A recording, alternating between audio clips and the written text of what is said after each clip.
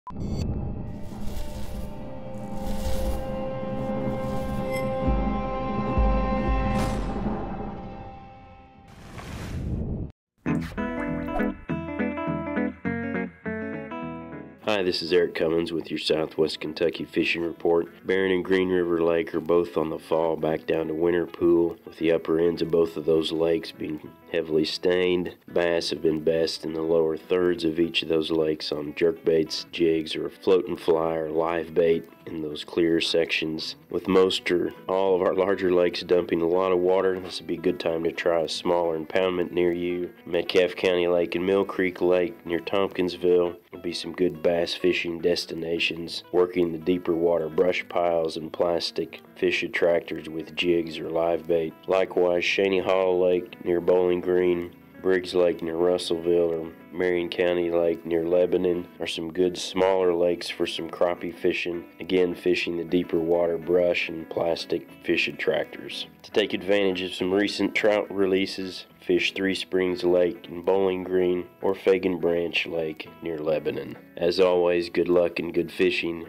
Be sure your life jacket's got your back.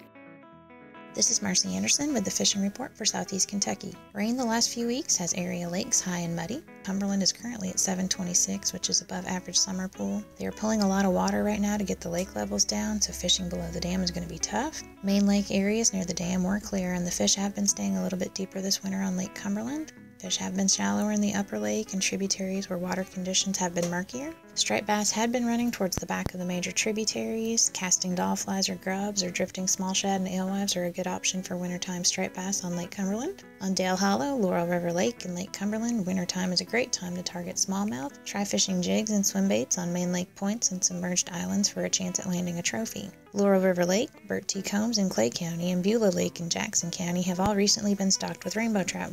Spinners and small crankbaits can yield good results when fishing for trout in area lakes. Thanks to everyone who donated their Christmas trees after the holidays. We will be using the trees to create new fish habitat areas on Laurel River Lake. So good luck and stay warm out on the water. This is Rob Rold in the Northwestern Fishery District with an update on our district lakes. Anglers the last week or so had been doing well on uh, Rough River Lake and Nolin River Lake, catching some Wintertime crappie, fishing shoreline brush piles either from a boat or actually walking the shorelines as well. However, all the rain we got last weekend, both reservoirs are now up several feet, four, five, six feet, over winter pool, and have gotten muddy as well. All the rain and the runoff going into the lakes have gone across bare mud banks, so the lakes have gotten muddy as well as coming up. So activity there is going to be pretty slow until the lakes settle out a little bit and stabilize. Ohio River, same situation, as well as Lower Green River. Anglers were starting to pick up a few sauger below the dams on the Ohio River and, and at Pottsville on Green River. However, all those rivers are up several feet and muddy now as well. The Ohio River is supposed to go to or past flood stage at Newburgh, Cannelton, and Uniontown dams, so not going to be much activity on the Ohio for a little while till it uh, settles down, stabilizes as well. Our smaller impoundments, however, are less affected by all the rain, and anglers are still catching a few crappie. Lake Malone on some of the submerged brush piles and treetops. Also, some of the strip pits at uh, Peabody WMA. Anglers picking up a few nice crappie uh, there as well.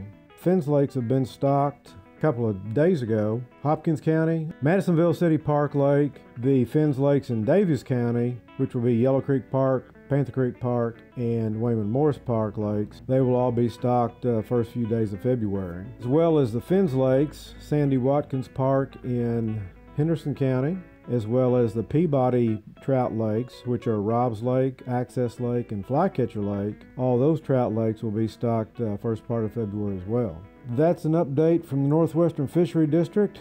Not a whole lot of activity at this time, but uh, try some trout fishing in the Fins Lakes or uh, stick on some of the smaller impoundments and hopefully you do well. Just remember, be safe on the water. Always wear your life jackets.